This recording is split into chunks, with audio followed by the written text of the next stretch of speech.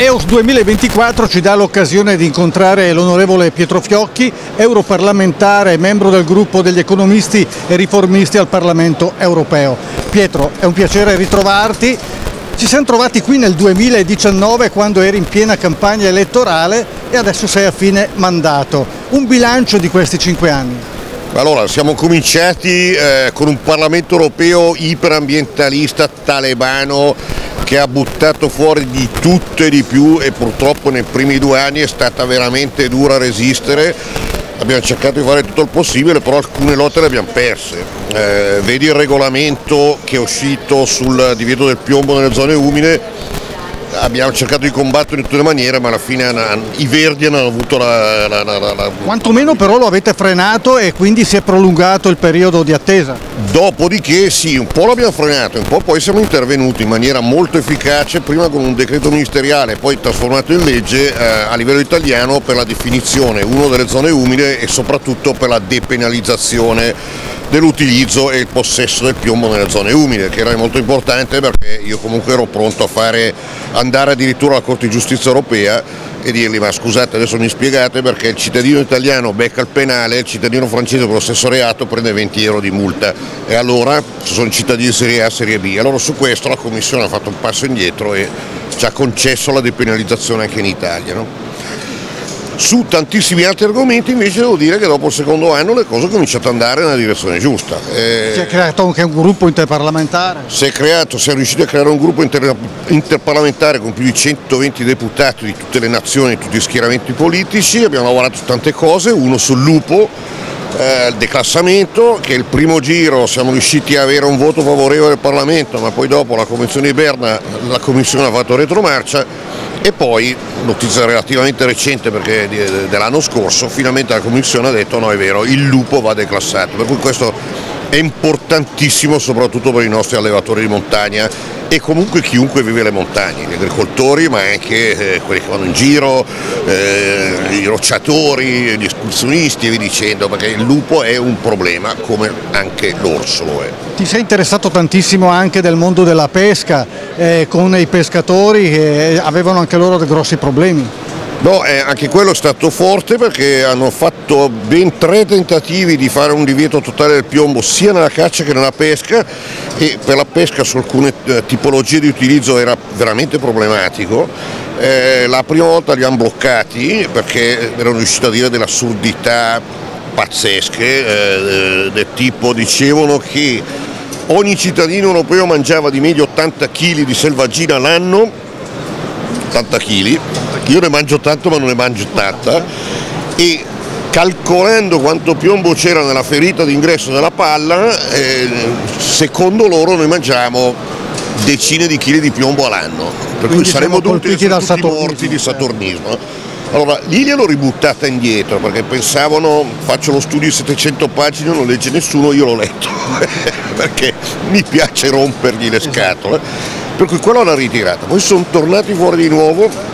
e anche lì l'abbiamo ribloccata con due lettere addirittura alla Commissione infatti notizia di, del mese scorso Terry Biettone è venuto fuori, il commissario europeo, dicendo no, il divieto totale del piombo nella, nella caccia e nella pesca non si può fare Vedremo magari qualche intervento su alcune aree ben definite, però su quello stiamo ancora in discussione per cui sono state tante slitterà nel prossimo anno. Sono state tante comunque le battaglie che sono state condotte in questi cinque anni, adesso però arriva questa procedura di infrazione eh, all'Italia. Come andrà a finire? Allora, in realtà non è una procedura di infrazione ma una messa in moro, che è l'inizio della procedura di infrazione. Il governo italiano e le regioni che sono nella, nella lista degli indirizzi a cui è stata spedita la lettera hanno due mesi di tempo per rispondere. E non necessariamente devono dare una risposta finale, possono anche dire su questo, questo problema stiamo facendo questo, stiamo aggiustando quello, prevediamo questo iter, stiamo facendo lo studio e, e per cui andiamo avanti, cioè è una cosa che può durare anche 3-4 anni, posto che le regioni e il governo facciano le cose giuste, cioè, ci sono delle tempistiche, vanno fatte e io su questo mi sono già attivato, sto già rompendo le scatole a tutti perché facciano una risposta. Allora, tu sei candidato nuovamente al Parlamento europeo e questa è una cosa ufficiale. Ti chiedo, eh, quando sei arrivato, che Europa hai trovato e che Europa ti appresti a lasciare dopo cinque anni? Ma allora sicuramente c'è stata una, una svolta verso un'impostazione un più grammatica, più pratica rispetto all'inizio che era veramente una follia dell'ecologia, per cui era ambiente, ambiente, ambiente, chi se ne frega, eh, fermiamo la caccia, fermiamo la pesca, fermiamo questo, chi se ne frega dell'economia, dei posti di lavoro, cioè era allucinante, uccidiamo l'agricoltura e abbiamo visto questi giorni qua tutte le proteste degli agricoltori, giustamente. Cioè, eh, venivano fuori con delle regole a pazzi, cioè divieto totale di pesticidi, di colcini, eh, 20% del terreno agricolo per la biodiversità, questo, quell'altro, sopra, sotto, cioè avrebbero ucciso la nostra agricoltura, tra le altre cose, e volevano anche uccidere la nostra industria. Adesso invece è diverso e io eh, penso, vedendo anche le altre eh, elezioni eh, nazionali, che il prossimo Parlamento europeo sarà molto più di centro-destra e molto più pragmatico impostato su una, su una visione utile, cioè va bene l'ambiente è sempre al primo posto, ma eh, c'è anche l'economia, ci sono i posti di lavoro. A proposito di economia, di agricoltura, eh, stiamo avendo un problema veramente molto forte soprattutto noi al nord, Liguria, Piemonte, Lombardia, che è quello della peste suina africana. Sta avanzando a passi da, da, da, gigante, è veramente un problema, mette in difficoltà la caccia ma anche un settore economico di grandissima rilevanza, soprattutto per l'export. Sì, eh, noi ci stiamo già fumando più di 20 milioni di, di, euro al mese di esportazione perché ci stanno chiudendo le frontiere, visto la presenza della PSA in Italia questo è un problema, eh, secondo me il commissario straordinario Caputo sta facendo molto bene in questo momento, però c'è tutta una serie di problematiche grosse, vedi per esempio il fatto che in, in Liguria eh, tu devi portare all'ASL il capo abbattuto e poi ti chiedono 70 euro per portare all'inceneritore la pelle e la testa,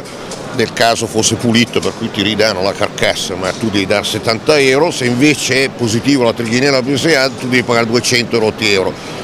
una squadra di cinghialai un po' seria rischia di mettergli sul piatto 5-10 mila euro di, di, di, di, soldi per la stagione. Per cui, il lavoro che viene svolto te devono anche Per pagare. cui stanno facendo un lavoro utile per l'Italia, utile per i produttori di, prodotti suinicoli e devono anche pagare una tassa, pazzesco. E Caputo si sta attivando anche con la giunta regionale Ligure per cambiare almeno questo. Dovrebbero, anzi, dovrebbero neanche fargli pagare le tasse regionali e statali per il lavoro utilissimo che fanno per la nazione.